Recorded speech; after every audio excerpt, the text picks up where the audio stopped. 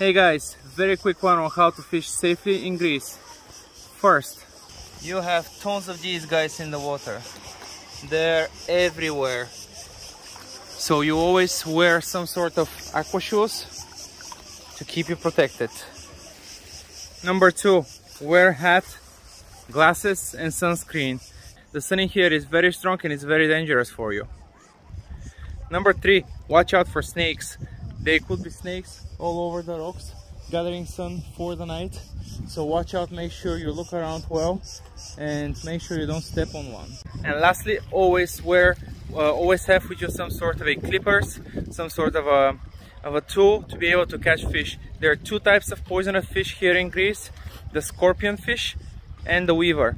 Both are very very unpleasant to play with. So make sure you wear tweezers you have you have tweezers so you can unhook those guys safely